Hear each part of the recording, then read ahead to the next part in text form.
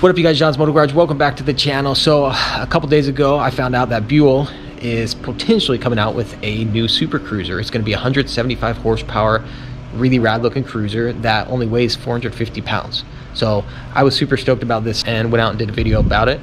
And after posting that video and kind of thinking a little bit more about it, I thought, you know, there are some potential concerns, doubts, reservations about this new Buell Super Cruiser. And today I want to go over those concerns with you guys.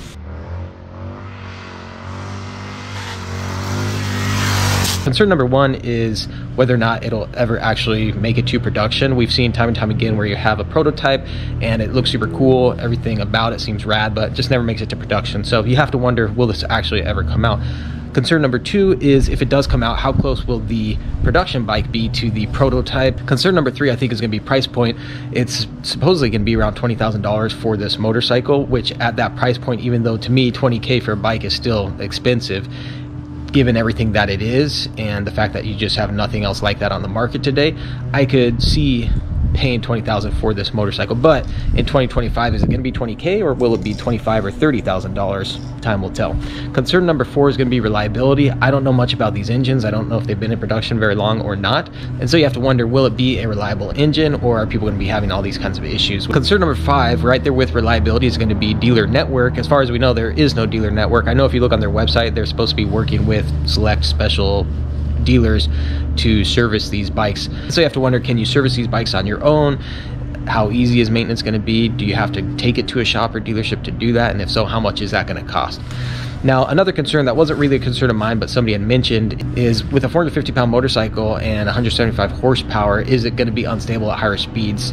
And my thought on that is most super sports weigh about 430 pounds or thereabouts and are built to go fast. So I think with proper suspension and tuning and setup, you can have a lightweight bike with high performance numbers that will go fast and be stable.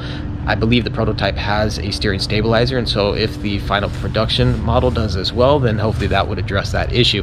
Obviously, if you're looking for you know a big, comfortable touring bike, this isn't the bike for you. This is a peak performance, and honestly, the target market is going to be people that like the Dynas, like the FXRs, are spending a ton of money to build those bikes up to be more performance built machines. This would check a lot of boxes for that particular market. Now, one concern I had is from my experience with motorcycles, less is often more. I've had high performance V twin motorcycles, like the Dyna Lowrider S, for example, and honestly, after a few months having that bike and riding it, it was almost too much power for the things that I wanted to do on the bike. For example, doing donuts and ripping wheelies, you don't need 175 horsepower to do that, and oftentimes it's harder to do those things with so much power. I think it'd be cool if they had like maybe a 100 or 80 horsepower option that still only weighed 450 pounds, so you'd have a bike that kind of looks rad gets the style like what I'm looking for with the Dyna, but only weighs as much as the DRZ Supermoto. So that would be potentially cool as well.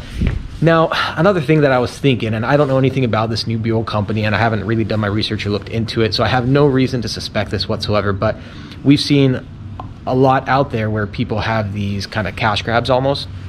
Right now, Buell is taking a $50 deposit uh, pre-order fee for this motorcycle. And based on what I read on the website, essentially this is a non-refundable fee doesn't guarantee anything doesn't guarantee that the bike will be produced doesn't guarantee you'll actually be able to buy the bike it's just basically saying hey i'm reserving a spot for this motorcycle so that if it does end up coming into production I guess I'm in line to buy it or something like that. The way I look at that is this is kind of a way for them to test the waters and get an idea of the interest. I have no idea, no, no reason to believe that Buell's trying to scam or do anything like that to people or try to rip people off. So, you know, 50 bucks, it's not a ton of money to part with to potentially reserve the uh, a spot to buy the motorcycle. I haven't paid the 50 bucks. I don't plan on doing it, but we'll see what happens in 2025. So drop a comment below. Let me know what you guys think. I'm still super stoked about the prospect of this motorcycle. Just the fact that they have now demonstrated that you can have a performance V twin that looks rad and doesn't weigh six, seven hundred pounds. That alone, I think, is a game changer because already they've opened up the door to tons of new possibilities that before I didn't even think were really an option, you know?